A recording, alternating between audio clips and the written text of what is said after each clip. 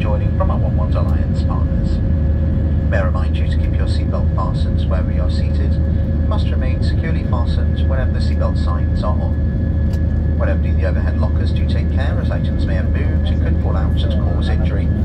As a reminder, smoking, including e-cigarettes, vaping and the use of other smoking devices, is not permitted at any time whilst on board and this does include the toilets which are fitted with smoke detectors.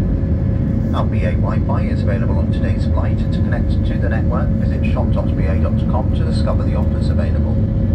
All phones should be placed to silent to avoid disturbing other customers and please note, video and phone calls are not permitted at any time during the flight.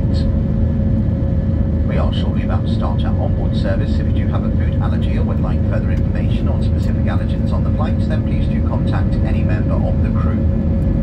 For those customers seated in Club Europe, we'll be offering you a choice of meal and drinks from the bar, and in Euro we'll be offering you a complimentary bottle of water and a snack, which will be followed by our High Life Cafe service.